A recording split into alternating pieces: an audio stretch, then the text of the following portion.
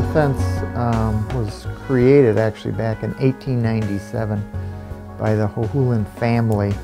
Uh, they're actually the first company in the United States to weave chain link fence commercially.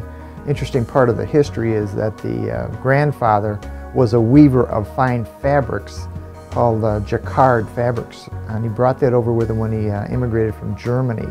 So it's interesting history, ties together the weaving of fine fabrics and the weaving of chain link fence. Hohulin was the first company to commercially weave chain link fence in the United States. Currently our philosophy is to sell and install only the quality products that are available today in the marketplace. There's a lot of products available. Uh, a lot of products come from China. We elect to be a distributor or dealer of quality fence products if it's from chain link to ornamental aluminum iron to uh, PVC fencing and all the new products that are coming out, the composites and that. We still research and, and select only quality products that we know we can put our name on and we know that we can stand behind for many years. We have been obviously in this area for well over 100 years. We have a name that's well recognized and well respected. And we were contacted by Melanie Spurgeon of Design Homes asking if we would be involved. We didn't hesitate. Myself and two partners didn't even hesitate to make the decision to become involved. We felt that was not only a good thing for us, but a good thing to do for the community, to be involved in the community. actually went very well. We uh, were able to get our main supplier of that product, Digger Specialties, out of Bremen, Indiana, involved and they helped us financially with uh, procuring the materials. We just brought our two residential crews and myself and my residential sales guy and we started at basically 5, 5.30 on a Monday morning. We're done by noon and it was great. It went really well.